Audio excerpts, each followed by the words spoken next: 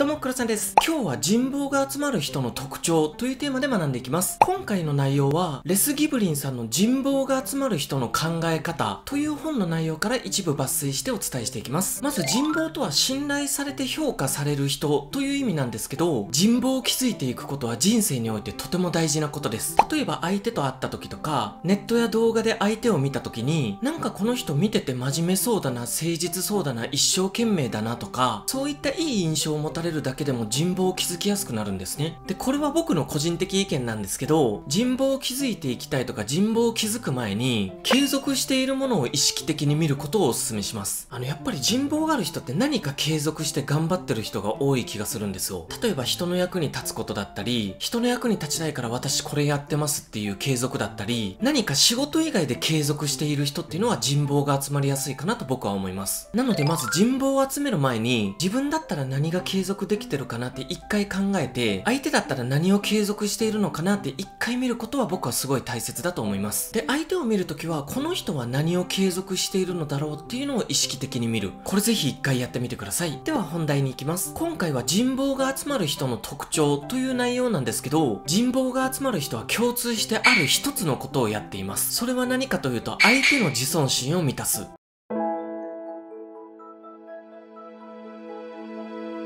自尊心とは自分を大切にする気持ちという意味で、人望が集まっていく人はとにかく相手の自尊心を満たすことに長けてるんですよ。で、現代はネット社会にもなって、なかなか自尊心が満たされない時代にもなりました。SNS の投稿や再生回数、なんかチャレンジしていることが数字で評価される時代にもなったので、他人と比べることが多くなって自尊心が満たされにくくなったんですよ。あの人の方がいいね数多いとか、あの人またイベント主催してて悔しいとか、とにかく他人と比べやすい時代になったなって僕は個人的に感じてます。で、あまり他人と比べると自分の存在価値っていうのがわからなくなってくるので、僕はあまり自分と他人を比べることはお勧めしません。自尊心が満たされてないっていうのはお腹が空いてる状態と似ていて、お腹が空いてる時ってイライラしてきませんか？なんか食べるもんないかなとか、何でもいいからお腹満たしたいなとか、これ自尊心も一緒。自尊心が満たされてないと、なんかイライラするな。誰でもいいから私の愚痴聞いてくれんかなってなるんですよ。で、自尊心が低いことが必ずしも悪いことではないんですけど、自尊心が満たされてないと意識が自分だけに向いてくるんですね。要は周りのことは二の次で自分のことを第一に考える人間になっていくということです。でこういった人に人望が集まることは絶対にありません。じゃあ自尊心を満たすにはどうしたらいいかというと、決定権を与えることです。決定権とは自分で決める、自分に選択肢を与えるといった自分自身で決めれることをたくさん提供してあげることです。